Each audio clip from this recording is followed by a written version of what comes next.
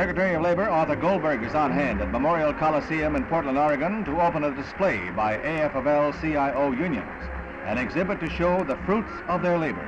The Secretary is greeted by Richard Walsh, head of Entertainment Crafts Union.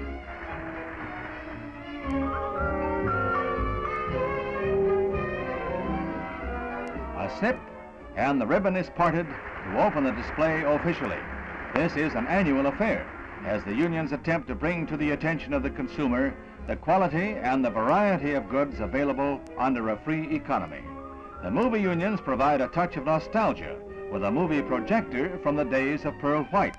The projector may be old, but the picture the unions present at this exhibit is right up to date.